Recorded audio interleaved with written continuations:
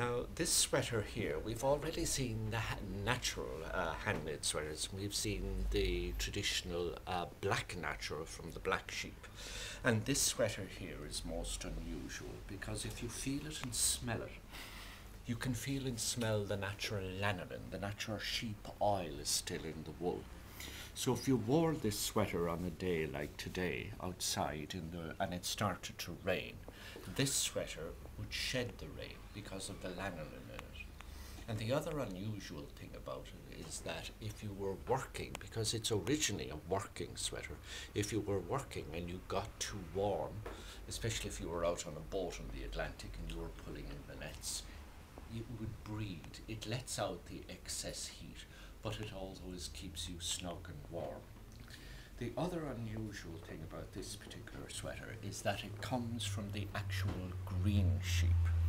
And it's directly related to the amount of Guinness that you drink, whether or not you see. Look forward to welcome you into our store. And if you can't make it into our store, don't hesitate to contact us online.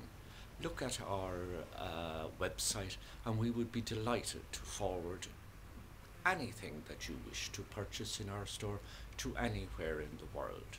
We've been in this business for 40 years and have mailed to every country in the world, and we'll be most delighted to meet you or hear from you.